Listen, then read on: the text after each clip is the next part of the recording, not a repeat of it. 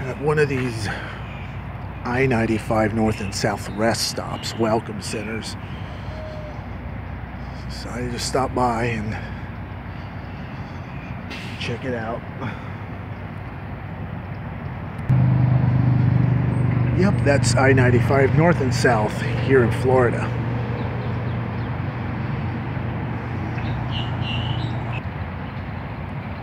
Yes, here in the Sunshine State at a rest stop.